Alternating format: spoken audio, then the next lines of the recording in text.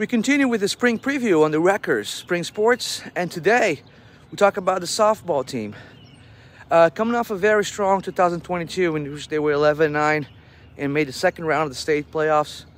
Uh, 2023 was a season in which they, uh, they finished 9-11, the opposite. Uh, the team had five seniors and they didn't make the FCIAC tournament, but uh, in the States, uh, they gave Naugatuck pretty much all they could handle there and lost by only one run.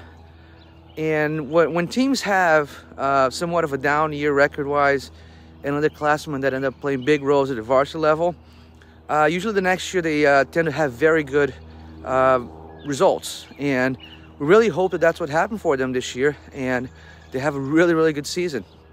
Uh, they will open their season on the 30th at home. That's versus uh, Sacred Heart Academy, a non-FCIAC matchup. And we want to wish the coaching staff, all the players, really the best of luck here on what could be a, a really good bounce back year for them and hopefully having a deep run in the playoffs. So I want to wish everyone a great Saturday. Uh, enjoy uh, the weekend and this great weather we're having. And I want to leave you with this. Cultivate resilience when things go downhill. Choose to bounce forward instead of staying stuck. Be kind to everyone. Be positive. Always get after it and go Wreckers.